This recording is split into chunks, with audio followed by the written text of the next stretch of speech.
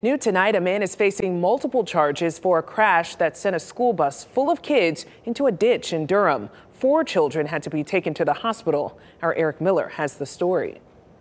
Philip Turner heard it before he saw it. A driver plowing into the side of a Durham school bus. The car went off in the gravel and the bus skidded off and went off in the ditch here. Turner and his wife were working a block away and rushed to the scene. What they found when they got there was just plain scary. When it went into the ditch, their children slid off the seat and fell into the other seats on top of other children. That's how bad the bus was leaning. Turner disconnected the bus's battery, which had started to smoke, and then helped the kids off the bus. They were all shook up pretty scared. According to State Highway Patrol, the crash happened around 340 on East Geer Street near Summerlin Road. The school bus was carrying 26 students from the School for Creative Studies. Four kids, ages 17, 16, 12, and 11, had to be taken to the hospital with minor injuries.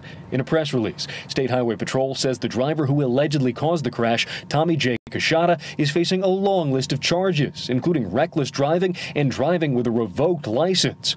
But the crash isn't what's most concerning for Philip Turner. How long did it take those ambulances to get here? To an hour and a half. WRAL Press, State Highway Patrol, and Durham EMS on why it took so long to get ambulances to the scene. According to SHP, the crash was first dispatched as having no injuries.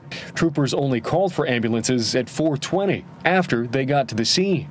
It then took those ambulances at least another 20 minutes to arrive. Durham County EMS says that's due to the remote remoteness of the crash scene. Tonight, State Highway Patrol is continuing its investigation into the crash. In Durham, Eric Miller, WRAL.